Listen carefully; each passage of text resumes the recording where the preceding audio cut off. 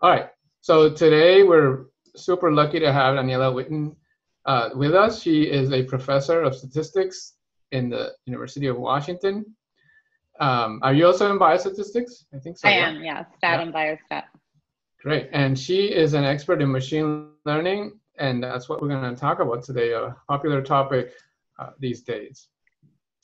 So I, um, I don't know if you want to introduce yourself quickly or, or you want me to go ahead and start with the questions. Yeah, well, um, thanks so much, Rafa, for having me on and to all of you for joining. Um, and I, I really appreciate everyone who's dealing with just this, this crazy world that we're in, taking the time to join this webinar. So that's really nice of all of you. And Rafa, to you for organizing this. It's so fun to have like a, a human connection in the midst of all this chaos. Um, so yeah, I'm a professor at University of Washington of, of statistics and biostatistics. Um, and I'm excited to, to answer some questions from Rafa today and from all of you. Right. All right. So the first one, this is a, a sometimes you see people fighting over this. I don't know how how useful that is or how, how much it helps, but uh, the, in, in, distinguishing machine learning from statistics, what statistics, what's machine learning. So my first question is is if is to ask you if you could share your definition of machine learning and how you distinguish it from statistics, if you do so. Yeah. So that uh, you're, I totally agree with you that this is sort of like the perpetual fight that will never end over what's statistic and what's machine learning. And I think one thing that sort of confuses things and muddies the water is that there are some topics that most statisticians will say are core statistics, like logistic regression. But if you open a machine learning textbook, often that book will start with logistic regression and that'll be like you know the simplest machine learning method is logistic regression. But then a machine learning textbook will take logistic regression and it'll add bells and whistles to that and eventually it'll end up like in deep learning with neural networks.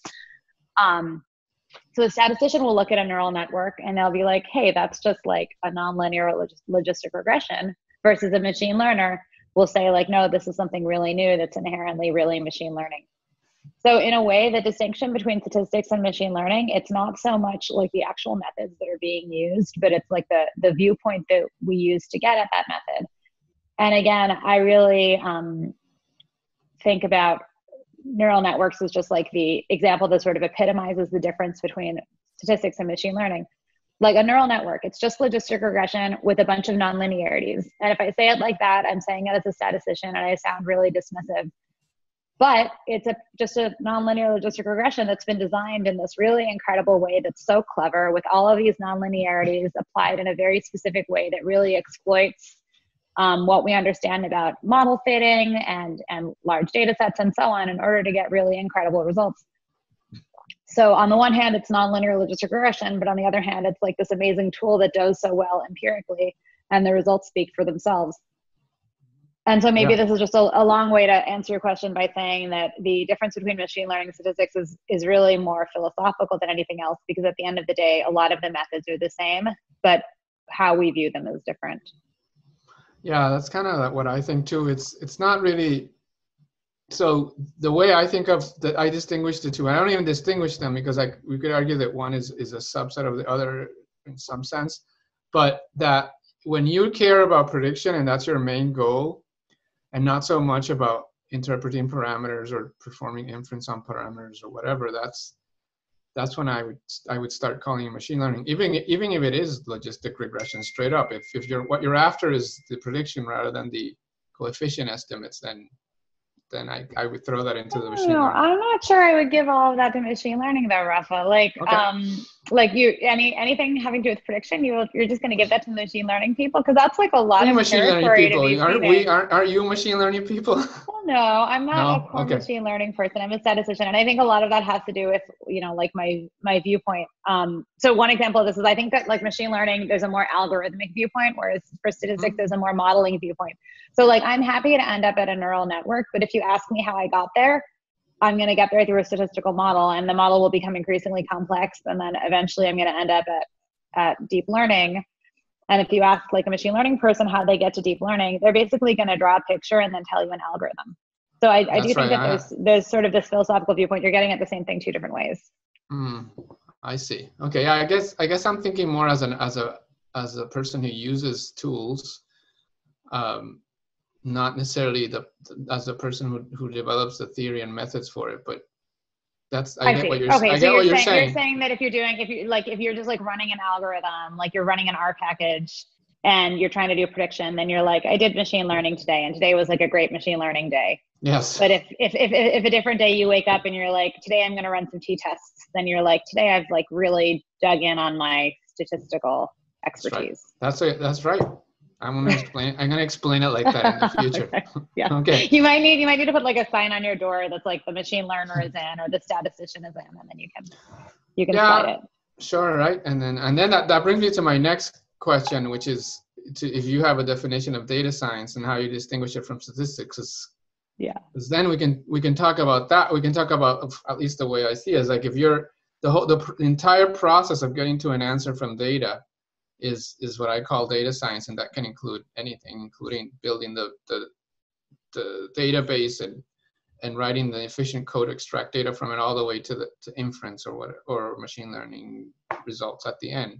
Yeah, I, uh, I anyway, that's totally my definition. that. I don't. Yeah. Okay. No, I agree with you. I think data science is much broader than than either statistics or machine learning. So like you, data science is like everything that happens from like the moment that the data enters the world until like the final thing that happens to that data. And of course, like you know from like your many years of expertise working with biologists, that even the notion of like when the data quote unquote enters the world is is actually not necessarily well defined mm-hmm. because um, so much processing happens. There's so many really complex computational pipelines that might need to happen to the data.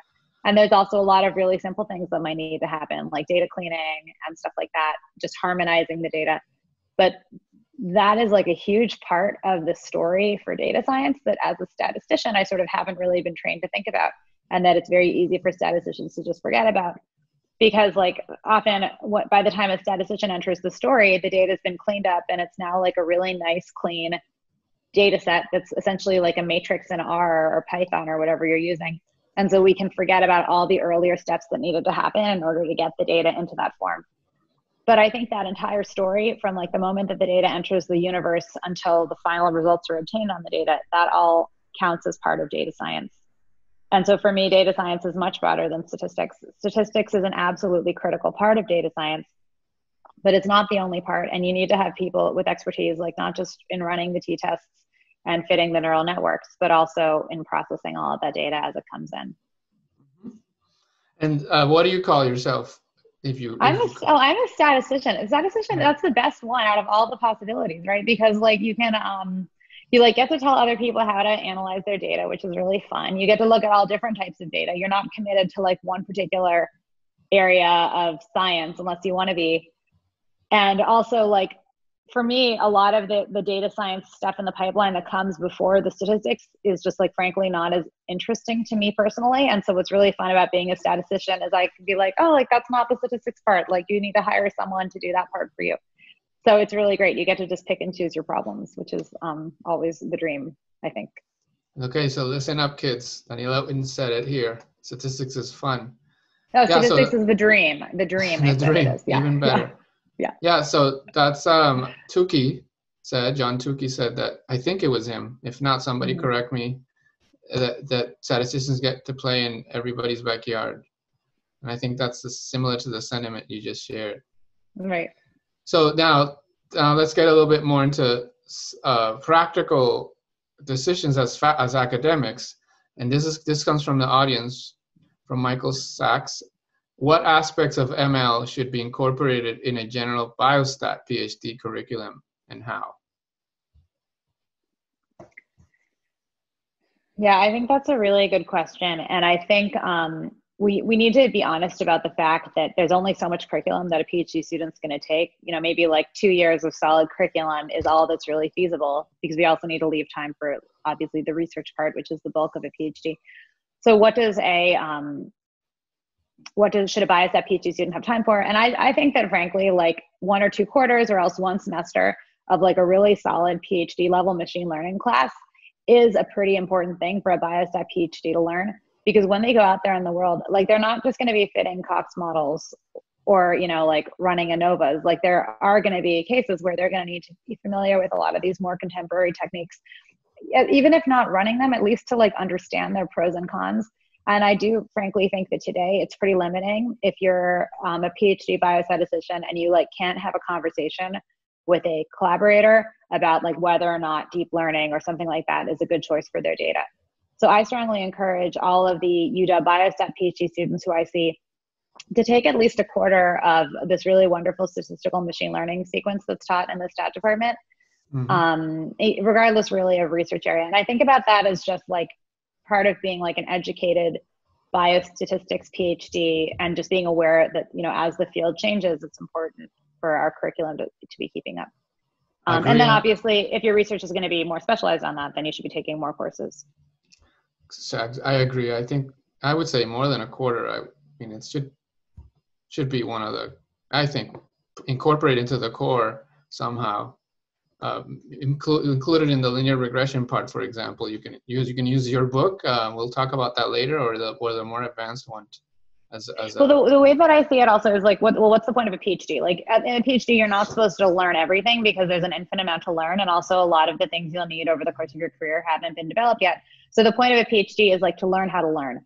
So I kind of think that like hmm. hopefully like a well-designed quarter or semester course should be enough in machine learning that you now you you've learned how to learn, you know how to read papers, you could read another textbook when another textbook is written.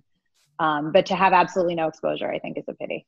Yeah, yeah. At least get the the general ideas of of what what we mean by prediction and what's cross validation and right. and that sort of thing. Some of the basic algorithms. Good. Okay. So um, I think there's there, and I, I, suspect you agree that there's a lot of hype around machine learning, and um, and uh, or as it's called when it's really being hyped, AI. However, I'm also a big fan of some of the substantive work going on in the field and also some of the applications. Now, can you share some of your favorite examples of applications of machine learning? Yeah, well, I think that you know in the last eight or so years, some of the applications that we've seen that have made it into commercial use have just been incredible. So, for example, like speech recognition, mm-hmm. um, natural language processing, um, machine translation. The idea that we have self driving cars, I mean, like if you'd asked me five years ago how long it would be until there were self driving cars in the streets of San Francisco, uh, I would have, let's just say, I would have been like very wrong. Um, so I think a lot of these applications of machine learning are just stunning and spectacular. Now, I'll tell you where I am a little bit underwhelmed, and that's what hits a little bit closer to home is applications like in biomedical research and health. And you know, it seems like there's constantly new papers getting published in, in shiny journals talking about you know using machine learning to solve some important problem like cancer diagnosis or whatever it is, um, image processing and so on in medicine. And those results, I, I find it a little bit hard to um, be too convinced by them. And I think part of the issue is that the bar is really high because, like, in order for one of these like ML or AI systems to be really useful, like in a in a clinical setting, it has to be better than a doctor because um, you like you're not going to put a human's life in the hands of a machine learning algorithm without at least having a doctor double check it and so if it's doing worse than a doctor and the doctor is double checking it, then I just don't necessarily see like what value add this is providing. And I think inherently it's really hard to make machine learning super useful for biomedicine or for health um, because your sample sizes aren't there, right? Like if you're Google and you're trying to come up with like an awesome machine translation service, you have a corpus that's you know absolutely humongous of essentially everything that's ever been written. But um, that's just not available in the same way in biomedicine. I, I would say that that's definitely one reason, but I, I would say the main reason is that biology, the human body, are much more complex than say writing you know auto correcting or, or the other example you gave it's mm-hmm. there's even in the best case scenario you're you're not necessarily going to be predicting a, a, high rate at a high at high accuracy so you know you can get if you can get to in some examples, if you can get to 80% right here, it's like a humongous advance. Well, I think we should think about it though in terms of what would a human do though, right? So like mm-hmm. this, an example where if an ML system could get to 80%, that would be a huge advance. Is your assumption that a human would be 85 or a human would be 75? Yeah, no, I, I, that's right. So that's, that's what I'm saying is like, that's probably why it's, um, because you can't really get to that point where it, it gets, it gets as good as as as what you as you see in other machine learning applications and people hype it up or even try to you know they they they, they due to publication bias ends up publishing the one that forgot to do cross validation right or something right. in, some cases no, I, I agree Well, I think another way to view kind of what you're saying is that maybe is sort of a helpful way to frame it that I hadn't thought of until you said that is if you think about like a self-driving car, like they're doing something that's incredibly hard, right? They have like, you know, all of these different technologies that are allowing them to measure all these things that are coming in in order to sort of see what the what the risks are on the road ahead of them. And then if God forbid something goes wrong and the car hits something that it shouldn't have hit, then like people can go through and they can look again and they can be like, okay, the problem was that like at this angle we weren't able to see this thing so now we can fix our algorithm mm-hmm. and so basically they can iteratively troubleshoot the problem but it's harder to iteratively troubleshoot in biomedicine or public health or rather in biomedicine or health because we don't actually know the gold standard. Like there's not it's not like a doctor can come in and be like oh okay like you know the the the, the tumor was missed because actually we should have been able to see that this cell over here in the next however many months was going to progress because we don't actually know that. There isn't a gold standard in the same way. That too, but that what I, make it really what, hard.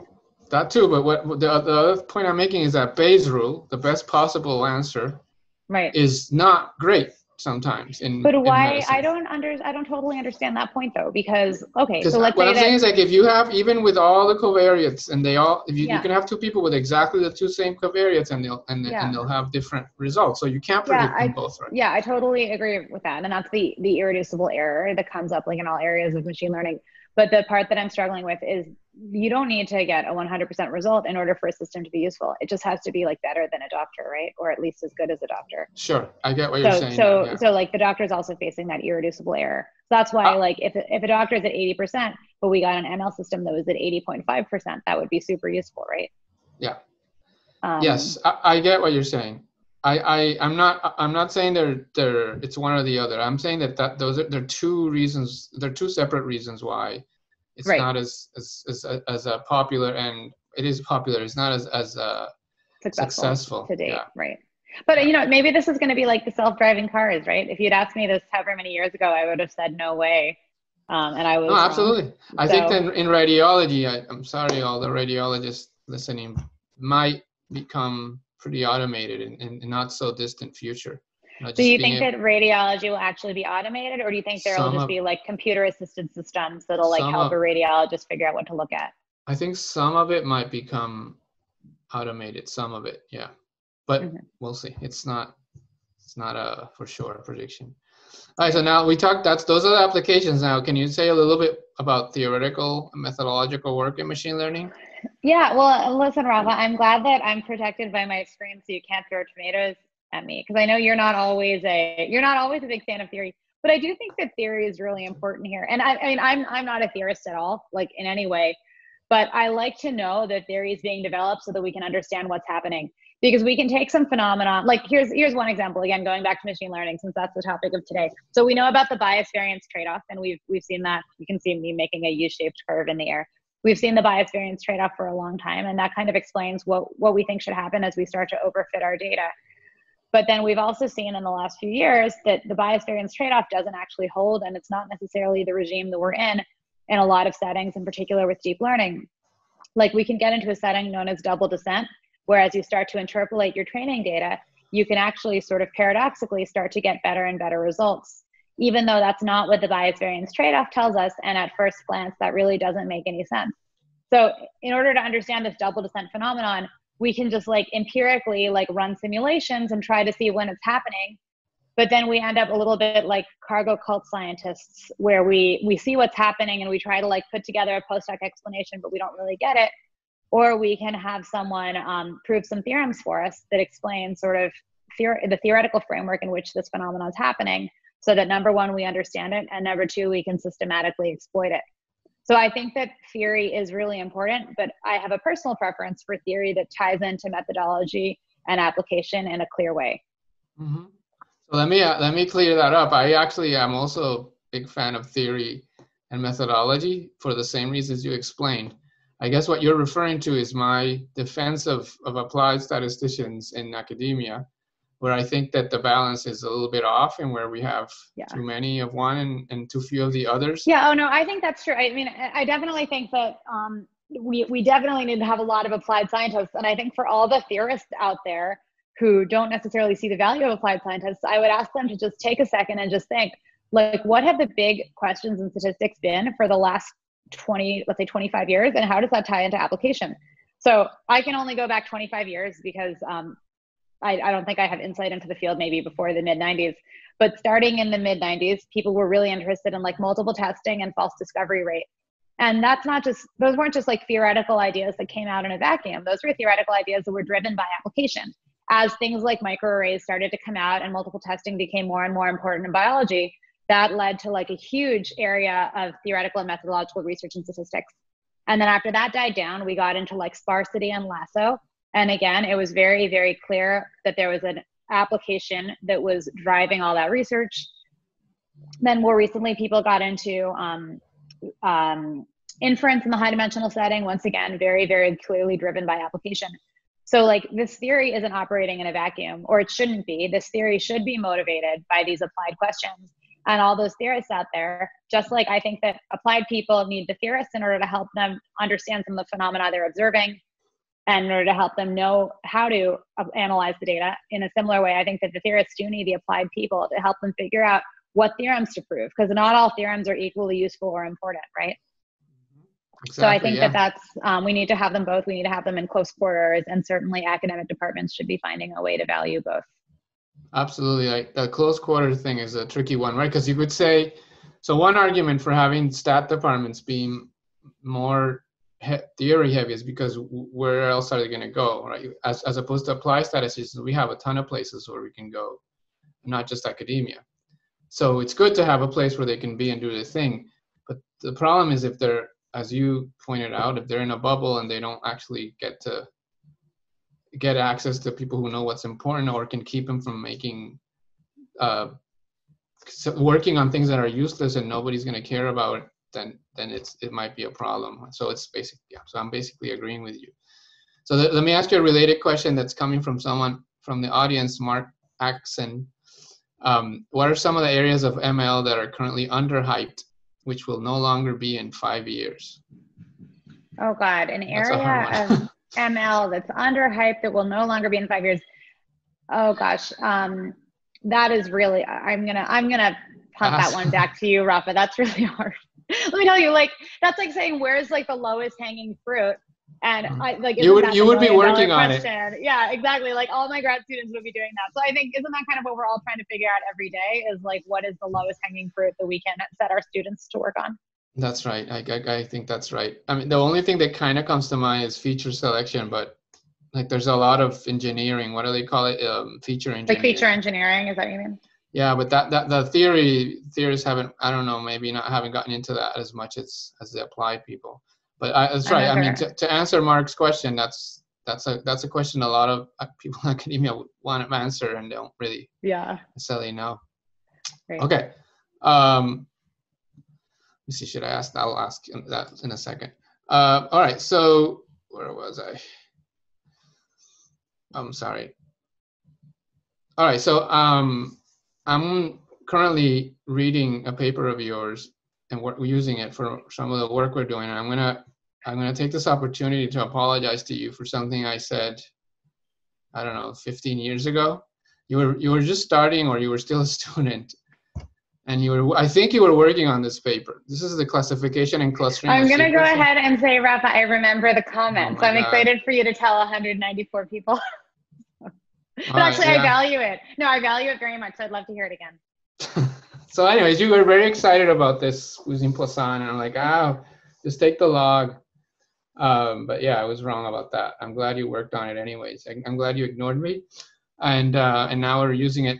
In RNA-seq, maybe it wasn't as a big deal, but for single cell data, it's it's, it's important. And, and what I'm talking about is Daniela has a paper. Uh, how old is this? 15 years ago? No, it just it's, no. it's like 2011 or something. Yeah. 2011. Okay, sorry, nine years ago.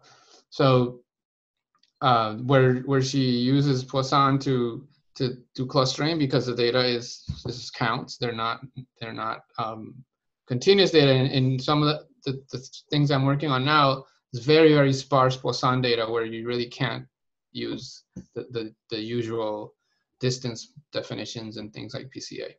So do you want to share your that's my favorite of your your contributions do you want to share your favorite theoretical contribution to the field Well, I first wanted to say, so Rafa gave me this comment. It was like right after I'd started my job at UW, and he, he asked me what I was working on, and I told him I was working on this paper, and he's like, oh, you know, like probably before you start working on something too much, like it's good to check like how well it works in practice.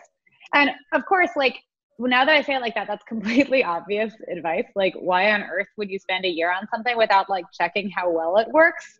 And like, should he even have had to say that? but I've often felt like often in my life I've like gotten very casual feedback like that, like that feedback from Rafa that's really useful and that I always remember and that I like try to apply to every project that I do and that I try to explain to all my students because it's so easy to find yourself like waist deep in a project and then you're like, oh, maybe I should like run a simulation and if only I had a time machine that could set me back to 12 months, you know? Um, so I thought it was great advice. Um, I'll, I will tell you some stuff that I've been working on more recently um, with a couple of students is sort of this idea of the fact that often in statistics we do this types of exploratory data analyses um, in order to sort of, for example, maybe cluster our data, see if there's clusters there. And if you find clusters in your data, then the next thing you want to know is are these clusters real? Is there really a difference in the means between the clusters? But immediately, like you're in a bind and your hands are kind of tied because you already peeked at your data to find the clusters. So mm-hmm. then it's hard to like get p values for those clusters. And you can try to come up with some kind of a hack, but it's very challenging. Um, and this is something where like everybody who does clustering encounters this problem where like you get clusters and you're like, okay, like now what? Are they real? And so I have a student now who's working on um, selective inference for clustering, where she does hierarchical clustering, and then she um, tries to get a p-value to test the hypothesis that the clusters are really different, given that those clusters were estimated on the exact same data. Um, and so that's a piece of work that I really like because it kind of hits the sweet spot that I'm interested in, where there's like a real applied problem that you can explain to like a, a biologist or a non-statistician. And they're like, oh yeah, like that is a problem. I would like p-values for my clusters. But then also the statistical solution is not obvious. I mean, clustering's been around forever. So if it were easy to solve this problem, it would have been solved. Um, but it turns out that we can bring in other tools from other areas of statistics that have been developed more recently to try to answer this. So That's I really great. like projects that bring in, you know, like applied theory, methods, everything all at once. So we're stuck on that right now too. So I'm glad to hear that. I'll be checking out uh, what oh, comes yeah. out. So yeah, we're de- we're stuck on, on a problem like that. I don't know if you've seen these single cell atlases. Uh huh.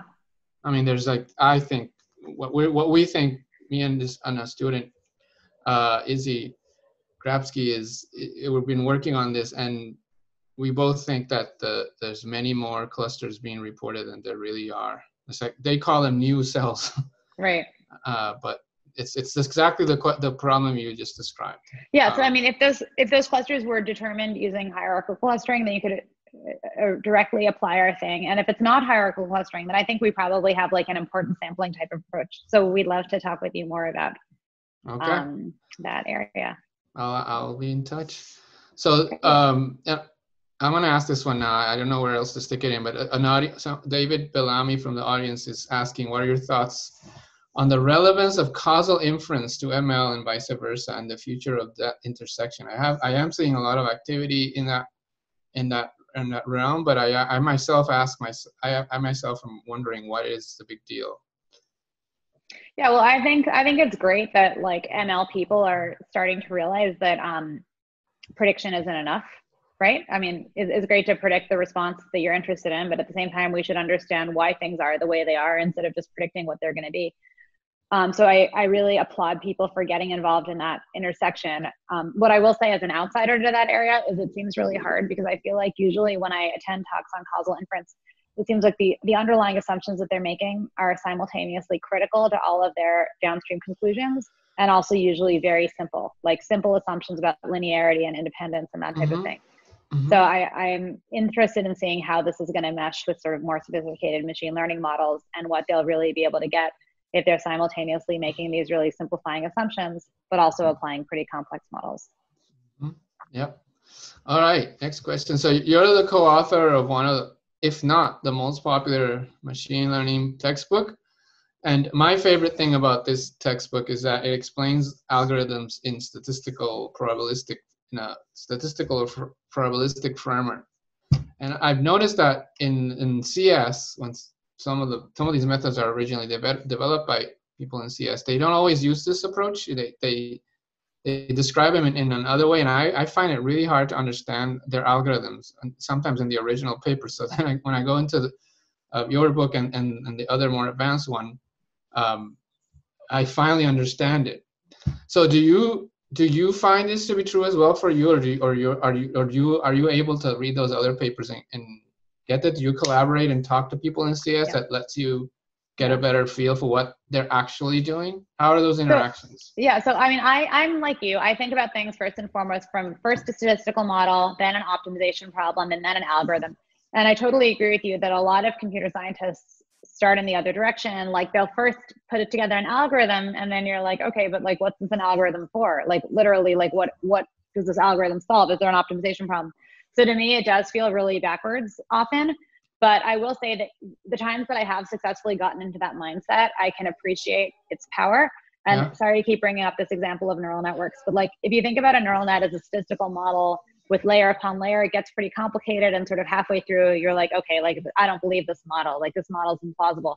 But if instead you, you just suspend your disbelief and you're like, here's a picture and I'm going to apply back propagation with stochastic gradient descent as a way to fit this picture basically mm-hmm. and it's going to just give me an algorithm that's the algorithm that i'm going to do on my data it sort of allows you to like make that cognitive leap that gives you these incredible results yeah, and that's so right. But I you just did it. Really you, you, just did it again. You just explained it in a statistical way. It's just well, some okay. function and that's there. right now, my co-authors and I are we're working on the second edition, which has a, a chapter on deep learning. So that's why like that explanation is really fresh in my mind.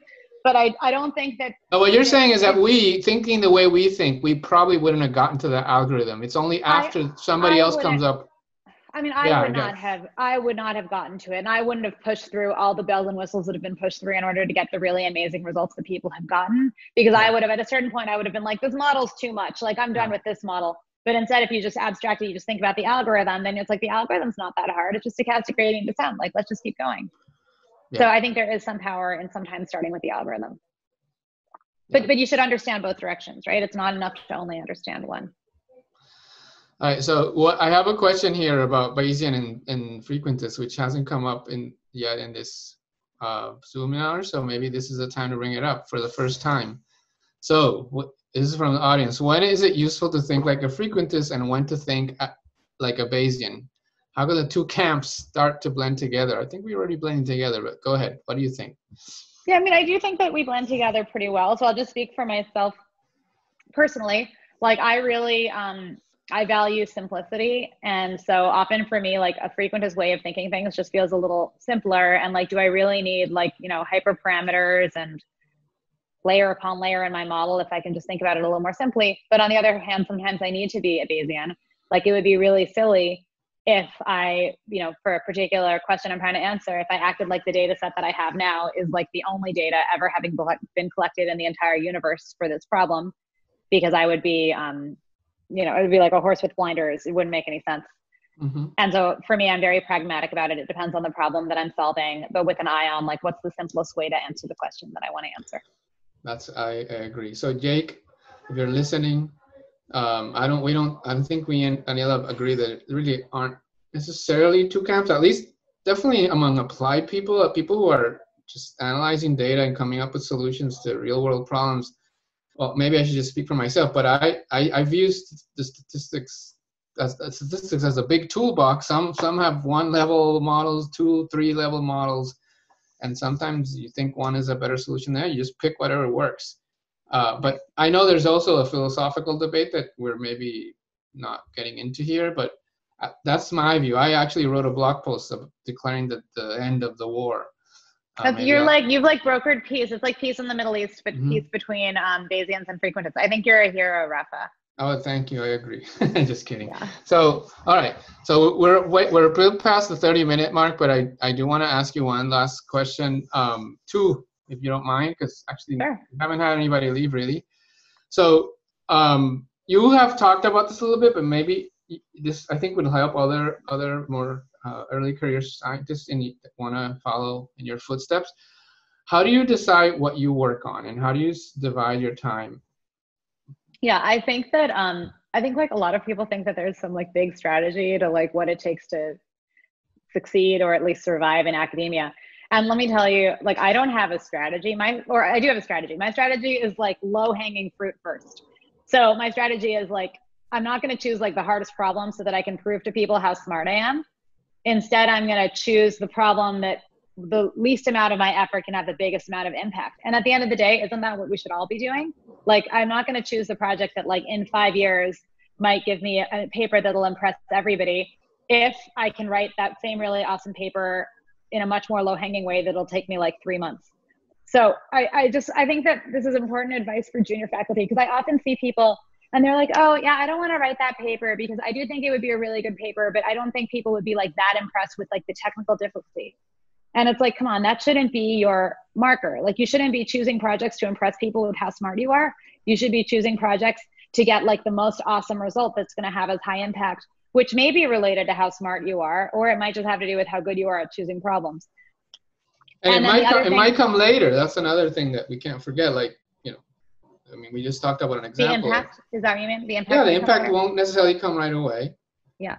Well, I think there's a, and there's another thing too, which is this is just advice to like everybody who's starting on their career. I think it's really easy to end up in a situation where like you have a whole folder on your computer with like 37 projects that are all half done and don't be that person. Like if there's a good reason that you put in a lot of work to a project and then now you know more and you're older and wiser and it's not worth finishing, then okay. But don't let that be your um you know, your modus operandi for just like most of your papers because it's really hard to sort of have an impact in your field if you like if you like starting projects but you don't like finishing them. You need to uh-huh. realize that like a lot of the work is actually finishing the project. And we often see like, you know, junior faculty who um, are getting close to their their promotion and tenure deadline. And they have like 15 really awesome projects all of which could be great papers but then they only have like one publication from their time as junior faculty. And it's like hey like half the battle maybe two-thirds of the battle is getting it across the finish line and you just have to do that. You have to. Absolutely. Absolutely. All right. So any last words for all the data scientists listening out there? Well it's a it's a fun time to be doing what you're doing. Um, and I, I wish you all the best. Thanks for tuning in. All right, great.